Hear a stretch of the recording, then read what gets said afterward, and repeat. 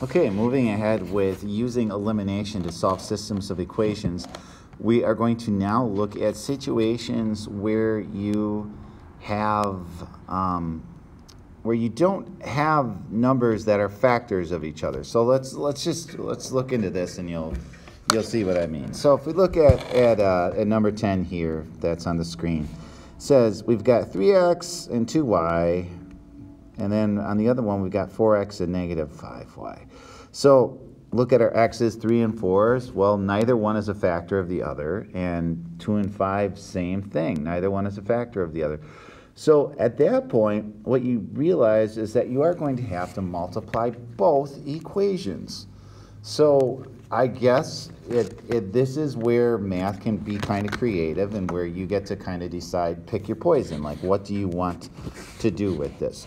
So we have two, uh, the, the, the, idea that you have to think about here is, um, is uh, the, the uh, a common denominator. If you think about doing common denominators with fractions, this is kind of the same thing. So I look at my 3 and my 4 and I say, okay, I can, um, I, I know that they both go into 12, right?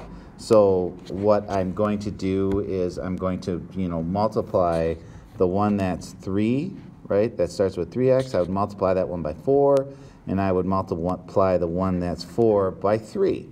And that way they both get to 12. And then the other thing you need to do is you need to say, okay, well, I'd like one of them to be the opposite of the other if it's not already like that. So with those, with your x terms, you would have to make either you would have to multiply one of them by a negative number and again you'll you'll see what I mean in a second. So let's let's do that. So there's two different ways to set this up. I'm going to set it up both ways and take a little bit of time here but I want you to see it. So if we decide we're going to do it with our x terms all right?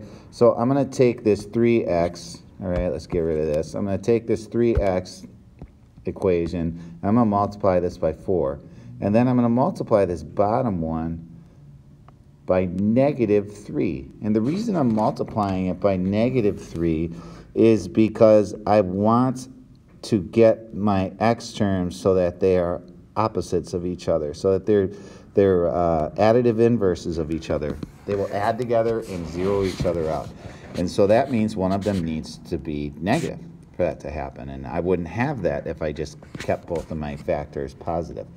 So let's do this and rewrite this. So we get 12x plus 8y minus, let's see, what is that? That's 104, or equals, sorry, not minus, what am I doing? Equals negative 104, all right?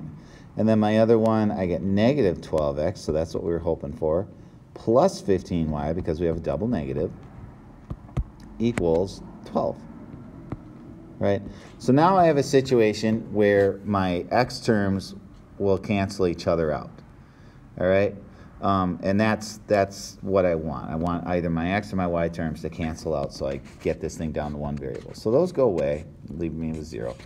And then I have 23y here. All right, sorry about the glitching. And then I have 104, basically just do 104 minus 12 right? So that's going to get you to uh, negative 92, right? Negative 104 minus 12. So I just do 104 minus 12, that's 92, and then you know it's going to be negative because the 104 is larger absolute value. Divide both by 23. Obviously, this is set up so it works out, and you should get y is equal to negative 4. Okay, so now my next step is let's take this and let's put it in one of the equations and solve for it. So it really doesn't matter which one. Let's just, let's put it in the top one. So we go 3x plus 2 times negative 4 equals negative 26. So you get 3x minus 8 equals negative 26. You're going to add 8 to both sides. And that's going to get you to uh, 18 to negative 18. Sorry, not positive, negative. 3x divided by 3. x is equal to negative 6. So we have the point negative 6, negative 4. Now let's put this in our top equation, or let's put in our bottom equation, sorry. So 4 times negative 6 minus 5 times negative 4 equals negative 4. Well, this is going to be positive 20. This is going to be negative 24. And those will indeed add up to get me negative 4 equals negative 4, and that's what we want. So this works, right? Now, one thing I want to show you really quick, all right? So if, uh, if you're writing, writing this down, um, you might want to uh, pause the screen and, and uh, copy this because I'm going to do some erasing here. I want to show you something. What I want to show you, okay, is that I can also, if I clean this up, I can also do this same process but with the y terms. So if I look at my y terms, right, the, the um, common denominator between those two, like the lowest one, would be 10, right? So I would say to myself, what do I need to multiply, um, what do I need to multiply the top one by to get this to equal 10? And what do I need to multiply the bottom one by to get this to be the opposite of 10, which would be negative 10? So in this case, the top one, I would multiply the top one by 5, right? So 3x plus 2y, negative 26, multiply that by 5. And then this bottom one, I could multiply also by a positive number because you see how their signs are different, right? They have different signs. This one is positive, this one's negative. Sorry, you probably can't see that because I'm writing all over it. But it hopefully you see that this is positive, that's negative and they're different from each other, right? And that's what that's what you want. And so if you go through and you do this, you're going to get yourself to the same thing. The only difference is you're going to actually solve you will solve for your x variable first, and then you'll go through and plug in to find y by substituting. So the it, there isn't a right or a wrong way to do this. There are definitely easier ways to do certain problems but you you just need to kind of practice and play around with it and and see what it looks like for you all right so let's let's keep going here let's take a look so this one right here right so I think probably the easiest and I because I try to keep things kind of small I would have to multiply this one this bottom one might get kind of big if I'm going for 15 right because I'd have to multiply everything by 5 um, if I do the y's, they, it's just going to 6, right? So it's, it's probably, it's not going to be too big of a deal. So if I say my common denominator is equal to 6 for that, I ask myself, okay, the top one, right? So I'm going to erase this stuff and just write this here. So if my common denominator is going to be 6, that means I'm going to multiply my top one by 3. I'm going to multiply my bottom one by 2. And then I want to make one of those negative because you notice how both of their signs are positive. So I need one of them to be the opposite. So it doesn't matter which one you pick. So I'm actually going to, because I'm adding these, I'm actually going to make the top one negative because it will clean up this, uh, will clean up that negative 3 a little bit. So let's see what that does. So we get negative 15x minus 6y equals positive 9, because negative times negative.